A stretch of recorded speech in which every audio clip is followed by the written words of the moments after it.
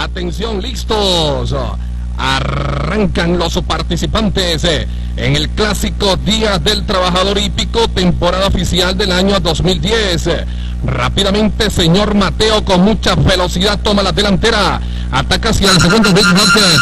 En el tercero, Believe Me. En el cuarto, El Granizo. Se quedó Mike John Mikehen.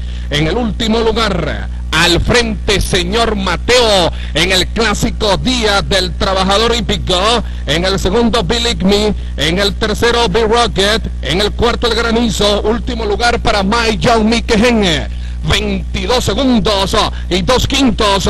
El primer cuarto de milla al frente, señor Mateo. Se ve muy bien, señor Mateo. Viene balanceadito, señor Mateo, en punta. En el segundo, Me hacia el tercero, Big Rocket. En el cuarto, Mayo Miquejene. Ingresan en la recta decisiva, la recta de Track TV. La emoción de ganar al frente, señor Mateo, hacia el segundo, Me Pero, señor Mateo, sencillamente está solo hacia la raya, galopando de punta a punta en el clásico Día del Trabajador Hípico.